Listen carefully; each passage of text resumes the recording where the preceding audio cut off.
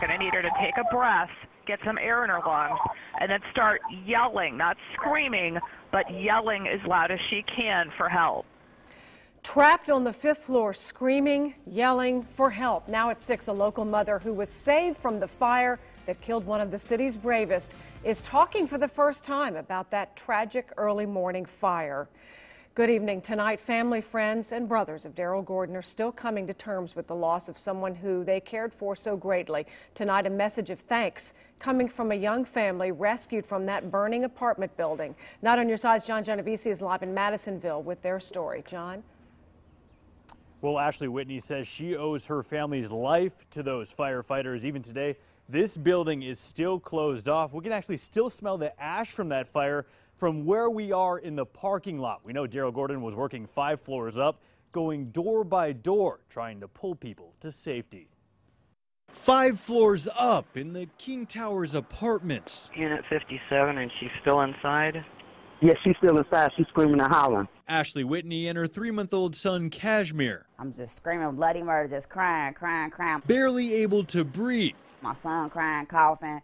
I don't know what to do. I'm going crazy. Screaming from their balcony for help. Okay, I've just been I've just been told that the heavy rescue squad is on the way to her apartment. When they opened that door, I couldn't see anything. I couldn't even see the fireman's name, face, anything like that. Like all I could see was just nothing but that yellow outfit on. On the same smoke-filled floor where FAO Daryl Gordon was trying to save people who were trapped. Help arriving for this mother and son. They grabbed my son. Was the first thing they did. Grab my son.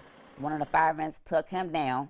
The firemen grabbed me, took me down the steps. Ashley says they were among the last to leave the building. There's no way of knowing if Gordon was their rescuer, but she owes their lives to people like him putting everything on the line. I just want to say to my prayers for him and his family, get my condolences out, because if it wasn't for him, I don't think half of us probably would have been able to get out, been out saved. But I'm so gladly that he was able to save our lives.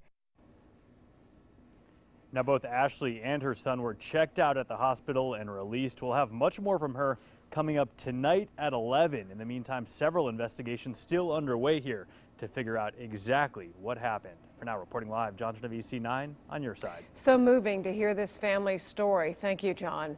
Tonight, thousands of firefighters all over the country are making plans to come to Cincinnati to pay their respects for Gordon saving the lives of others as he did. Tuesday, there will be a visitation from 3 to 7.30 at the Duke Energy Center. The funeral is scheduled for Wednesday at 10 in the morning at St. Peter in Chains, and the burial will immediately follow at Oak Hill Cemetery.